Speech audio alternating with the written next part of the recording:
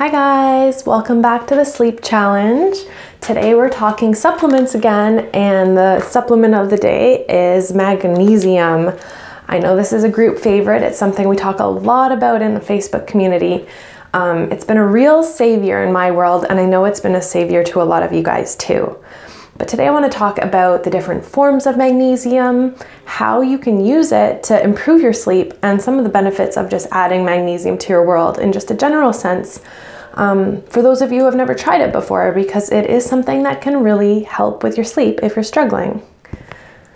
So, to start, magnesium is a mineral that, if you are struggling with stress, if you're struggling with chronic fatigue, chronically high cortisol demands on the body, Magnesium is something that your body is flying through, it's using it up really quickly. Throw some coffee into the mix because you're tired and you're trying to keep yourself going that way. It's another thing that's going to deplete your magnesium even faster.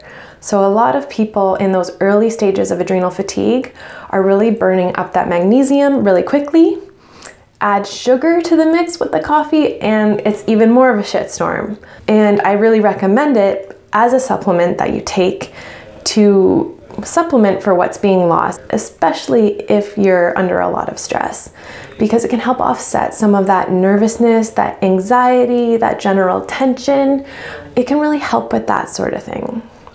Magnesium is really well known for helping reduce symptoms of things like restless legs, um, cramping, tension headaches. It's really good for just relaxing and calming the body. Because it is so relaxing, it can really help put you into a deeper state of sleep. So it's going to improve the quality of that REM sleep, you know, that really whole full body rejuvenating REM sleep that you're getting. So it can help with the sleep time, deeper quality of sleep.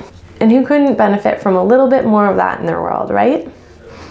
One thing to note about magnesium is that it because it's so relaxing, whatever doesn't get absorbed to your muscles and whatever stays in that intestinal tract relaxes those intestinal muscles. So, what I'm trying to say is, is, that magnesium is a really wonderful natural laxative.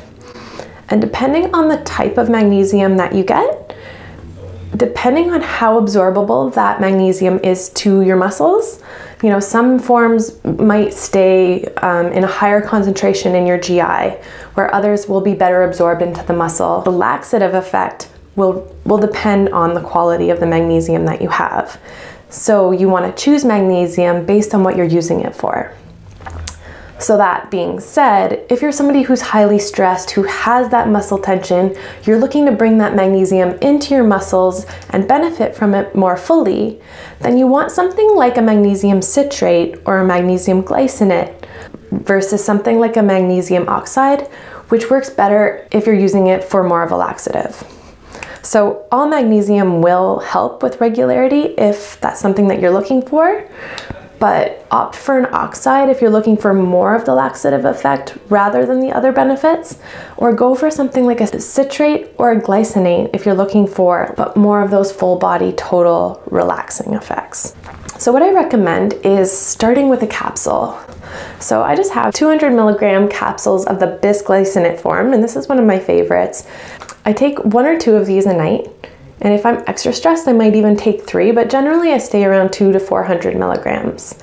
And of course, because it is a natural laxative, if you take a little bit too much for your body, your body's gonna let you know. So start around 200 milligrams and see how it goes. And if you wanna kick it up the next night, go to 400. That's something that you could totally try. Um, some people who are super sensitive might find that magnesium upsets their stomach. I personally haven't had that experience, but I know some of you have. So if that's the case for you, something like a nice topical magnesium spray or oil that you can massage into your skin is a really nice way to absorb magnesium and experience the benefits without any of the digestive stuff. So this ancient mineral spray is super nice.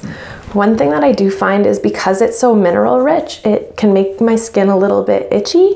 So I like to mix it with coconut oil and then like I rub it on my belly, I rub it on my legs. I just, you know, I tend to rub it where my muscles hurt. So it's nice if you have a partner who can massage it into your back or your shoulders. That's a nice way to ease up the muscle tension and get like localized magnesium going to particular areas. So yeah, you can try that option as well. You can also soak in it. I forgot to mention that. Just throwing a cup, a cup or two of Epsom salts into your bath, that's magnesium. So you're gonna be absorbing it in the water while you soak in it. So that's another great way to get it topically as well. And of course, we can't forget that there's always food. So things like those dark leafy greens are really rich in magnesium. So that's an awesome place to start. So your challenge of the day is to get more magnesium in in some shape or form. Bye guys, we'll catch you next time. Thanks for listening.